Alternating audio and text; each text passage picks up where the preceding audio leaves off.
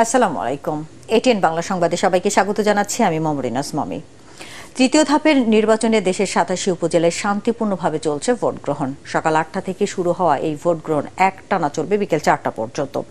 Vote সুষ্ঠুভাবে সম্পন্ন করতে আনসার ও গ্রাম প্রতিরক্ষা বাহিনীর এক লাখ চল্লিশ হাজার আটশো একষট্টি জন সদস্য মোতায়েন করা হয়েছে। এছাড়া সারা দেশে তিনশো platoon border guard Bangladesh BGB মোতায়েন রয়েছে। নির্বাচন কেন্দ্রিক অপরাধ নিয়ন্ত্রণ ও ভ্রাম্যমাণ আদালতের মাধ্যমে সাজা দিতে মাঠে রয়েছেন ম্যাজিস্ট্রেট ও নির্বাহী ম্যাজিস্ট্রেটরা। নির্বাচনে কেউ ভোট বেশি দেখালে কঠোর ব্যবস্থা নেওয়ার হুঁশিয়ারি দিয়েছে নির্বাচন কমিশন। এদিকে ঘূর্ণিঝড় রিমালের ধ্বংসযজ্ঞ ও এলাকায় বিদ্যুৎহীন হয়ে যাওয়ায় বাইশটি উপজেলায় ভোট গ্রহণ স্থগিত করেছে কমিশন। ফলে আজ দেশের সাতাশিটি উপজেলায় ভোট গ্রহণ চলছে। সকাল থেকে সারা দেশে শান্তিপূর্ণভাবে ভোট গ্রহণ চলছে। জামালপুরের মেলান্দ ও মাদারগঞ্জ উপজেলার কেন্দ্রগুলোতে ভোটারদের স্বতঃস্ফূর্ত উপস্থিতি দেখা গেছে। খাগড়াছড়ির মালছড়ি উপজেলা ও লক্ষ্মীছড়িতে স্থগিত হওয়া দুটি কেন্দ্রে ভোট গ্রহণ চলছে। কেন্দ্রগুলোতে ভোটার উপস্থিতি কম দেখা গেলেও শান্তিপূর্ণভাবে ভোট গ্রহণ চলছে। নওগাঁর রানীনগর ও আত্রাই উপজেলায় একশো সাঁত্রিশটি কেন্দ্রে ব্যালটের মাধ্যমে ভোট গ্রহণ চলছে। এখানকার কেন্দ্রগুলোতে ভোটার উপস্থিতি অনেক বেশি। ভোট সুষ্ঠু করতে পুলিশ, র্যাব, বিজিবি, আনসার বাহিনী, মোবাইল এবং স্ট্রাইকিং ফোর্স দায়িত্ব পালন করছে। নাটোরের বড়াইগ্রাম এবং গুরুদাসপুরের চেয়ারম্যান পদে আটজন পুরুষ, ভাইস চেয়ারম্যান পদে পাঁচজন ও মহিলা ভাইস চেয়ারম্যান পদে ছয়জন প্রতিদ্বন্দ্বিতা করছেন। তবে এখানকার অধিকাংশ কেন্দ্রে ভোটার উপস্থিতি খুব কম। সিলেটের ফেঞ্চুগঞ্জ উপজেলা নির্বাচনের খবর জানাচ্ছেন আমাদের প্রতিনিধি শাহ মুজিবুর রহমান যখন। ফেঞ্চুগঞ্জ উপজেলার চণ্ডীপ্রসাদ সরকারি প্রাথমিক বিদ্যালয়। এই এখানে সকাল আটটা থেকে ভোট গ্রহণ শুরু হয়েছে। এখন প্রায় বারোটা বাজার পাশাপাশি প্রায় বাইশশো ভোট রয়েছে এই কেন্দ্রে। আমাকে প্রিজাইডিং অফিসার জানিয়েছেন যে এখন পর্যন্ত প্রায় তিনশোর মতো, সাড়ে তিনশোর মতো ভোট পড়েছে এবং ভোটারের উপস্থিতি অনেকটা কম দেখা যাচ্ছে। ধীরে ধীরে ভোট পড়ছে। এক হচ্ছে যে আকাশ মেঘলা বৃষ্টির কারণে মানুষ আসতে সমস্যা হচ্ছে। কিন্তু এখন কোনো বৃষ্টি নেই এবং ভোট গ্রহণ হচ্ছে। তবে আমরা খবর নিয়ে দেখেছি যে শান্তিপূর্ণভাবে সিলেটে ভোট গ্রহণ হচ্ছে। কোন ধরনের সমস্যা এখন পর্যন্ত হয় নাই। খাগড়াছড়ি থেকে উপজেলা নির্বাচনের খবর জানব আমাদের প্রতিনিধি আবু দাউদের কাছে। তৃতীয় দফা উপজেলা পরিষদ নির্বাচনের আজ খাগড়াছড়ি পার্বত্য জেলার মহালছড়ি উপজেলা পরিষদ নির্বাচন অনুষ্ঠিত হচ্ছে। আমি এখন যে কেন্দ্রটির সামনে দাঁড়িয়ে আছি সেটা হলো মাইসচুরি উচ্চ বিদ্যালয় কেন্দ্র।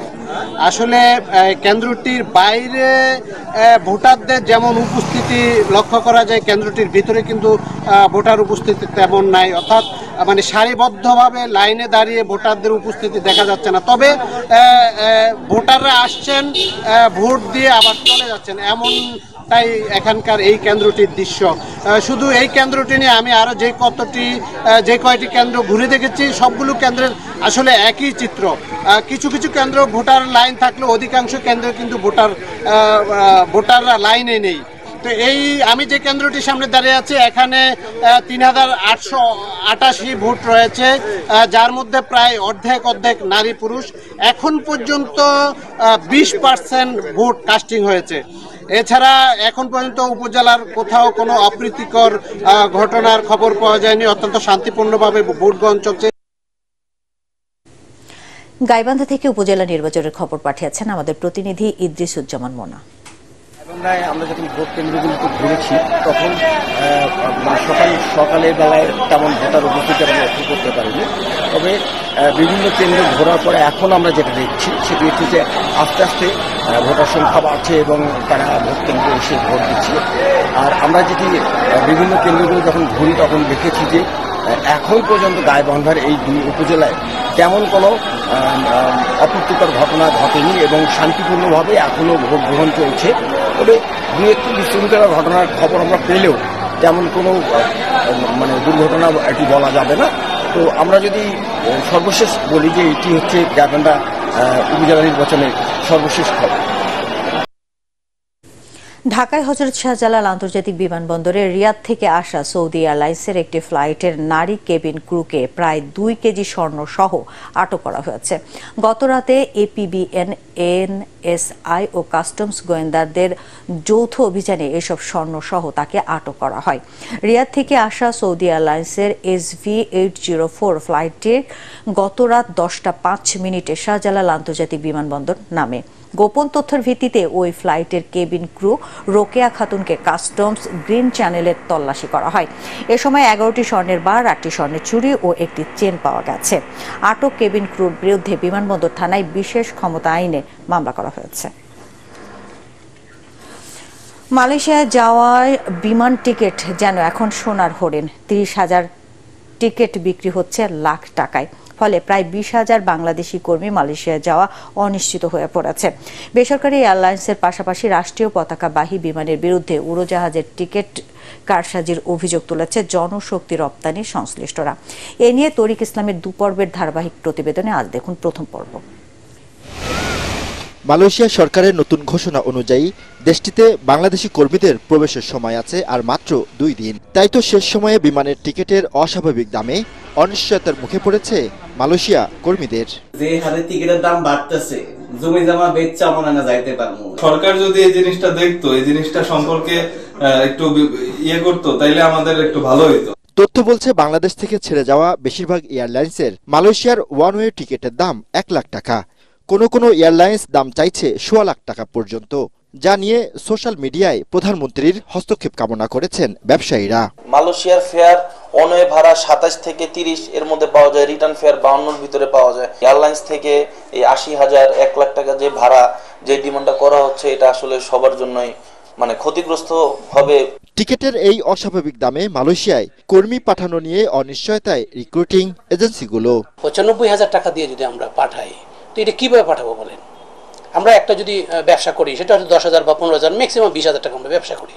তো সেই ক্ষেত্রে এই বিশ হাজার টাকাও যদি আমি প্লাস করি, তাহলে তারপরেও তো আর পঞ্চাশ ষাট হাজার টাকা আমাদের বাকি থেকে যায়। তো এই পঞ্চাশ ষাট হাজার টাকা কে দিবে বলেন? টিকিটের এমন কারসাজি খতিয়ে দেখার পরামর্শ আটাব সভাপতির। ভাড়া বাড়ার একটা সীমা থাকা উচিত একটা লেভেল থাকা উচিত। তিরিশ হাজার টাকার কুয়ালামপুরের টিকিট সেটা এখন বর্তমানে আমরা দেখতে পাচ্ছি তিন গুণ বেশি। এখানে যদি কোনো অনিয়ম থাকে কেউ এটার সাথে জড়িত থাকে তাদের বিরুদ্ধে অবশ্যই উপযুক্ত ব্যবস্থা নেওয়া উচিত। টিকিটের চাহিদাকে পুঁজি করে এয়ারলাইন্স কোম্পানিগুলোর এমন অনিয়ম তদারকি দাবি জানিয়েছে অভিবাসন বিশ্লেষক হাসান আহমেদ চৌধুরী কিরণ। টিকিট এর দাম বাড়বার ক্ষেত্রে যে অরাজকতা চলছে দীর্ঘদিন থেকে, সেক্ষেত্রে কিন্তু আমরা কোনো সংস্থাকে আমরা দেখিনি এখনও পর্যন্ত আইনগত ব্যবস্থা গ্রহণ করতে।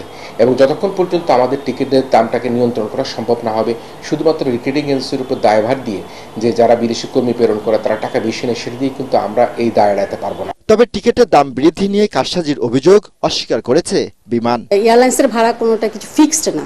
এটা টাইম ডিমান্ডের উপরে টাইমের উপরে ডেস্টিনেশনের উপরে, অনেকগুলো মানদণ্ডের উপরে ডিপেন্ড করে এই ভাড়াগুলো আপনার নির্ধারণ করা হয়। কোনো এজেন্সিকে আমরা ইয়ে দিচ্ছি না। আমরা যখনই ওপেন করতেছি, সবাইকে ইয়ে করা হয়, অবহিত করা হয়, যে এখন ওপেন আছে, আপনারা নিতে পারেন। দ্রুত সমন্বয় করে বিমান ভাড়া না কমালে মালয়েশিয়ায় বাংলাদেশে কর্মী পাঠানো সংকটে পড়তে পারে বলেও মনে করেন এখাতের ব্যবসায়ীরা। তরিক ইসলাম, এটিএন বাংলা, ঢাকা। আন্তর্জাতিক শান্তি রক্ষা দিবস আজ। র্যালি, আলোচনা সভা, নানা আয়োজনে বিশ্বের অন্যান্য দেশের মতো বাংলাদেশেও পালিত হচ্ছে দিবসটি। এ উপলক্ষে সকালে রাজধানী তেজগাঁয়ে বিমান বাহিনীর বাসার ঘাটিতে পিস কিপার্স রান অনুষ্ঠানের আয়োজন করা হয়। এতে অংশ নিয়ে স্থানীয় সরকার মন্ত্রী তাজুল ইসলাম বলেন, বিশ্বের সংঘাতপূর্ণ অঞ্চলে শান্তি প্রতিষ্ঠায় কাজ করছে বাংলাদেশের শান্তিরক্ষীরা।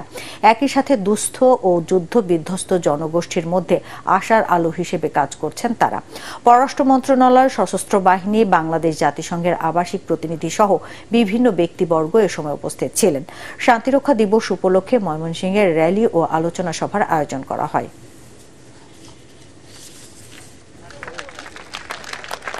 Bangladesh peacekeepers are promoting the culture of peace in the conflicted zone adjacent area emerging as a ray of hope for the distressed and war front communities Our peacekeepers act as peace ambassador, promoting Bangladesh internationally as a country that respect and uphold the value of peace. খেলার খবর puree Hughes হার্ভার্ডকে তিন শূন্য সেটে হারিয়ে French ওপেনের শিরোপা ধরে রাখার মিশন শুরু করেছেন নোভাক জকোভিচ। রোলাগারোয় প্রথম সেট ছয় চার গেমে জিতলেও দ্বিতীয় সেটে স্বাগতিক খেলোয়াড়ের প্রতিরোধের মুখে পড়েন সার্বিয়ান তারকা। খেলা করায় ট্রাইবেকারে। সেখানে সাত ছয় গেমে জিতে এগিয়ে যান চব্বিশটি গ্র্যান্ড স্লামের মালিক। এরপর তৃতীয় সেট ছয় চার গেমে জিতে দ্বিতীয় রাউন্ড নিশ্চিত করেন টেনিস ইতিহাসের সর্বোচ্চ গ্র্যান্ড স্লামের মালিক।